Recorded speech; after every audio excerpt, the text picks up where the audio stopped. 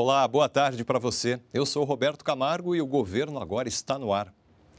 O Ministério da Educação publicou as novas regras do Exame Nacional de Desempenho dos Estudantes, o ENAD, para 2019. No total, 23 cursos de bacharel vão ser avaliados, entre eles arquitetura e urbanismo, odontologia, medicina, engenharias ambiental, civil e de alimentos, além de seis cursos tecnológicos. A prova do ENAD mede o aprendizado de universitários e vai ser aplicada no dia 24 de novembro. Outras informações no site do MEC. Os programas de estágio e aprendizagem são a porta de entrada para muitos jovens no mercado de trabalho.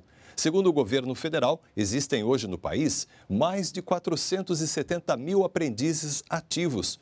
O Centro de Integração Empresa-Escola, CIEE, divulgou números sobre o trabalho de jovens no Brasil. Veja na reportagem. Depois de concluir o ensino médio, Karina decidiu que era o momento de alçar novos voos.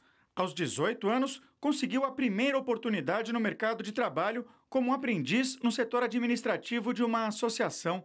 Além de ter seu próprio dinheiro, o emprego deu a Karina a oportunidade de aprender como se comportar no ambiente corporativo.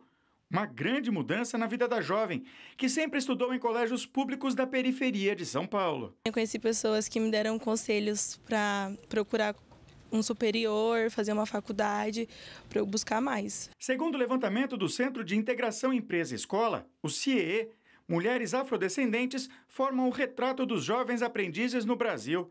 As representantes do sexo feminino somam 52,7%.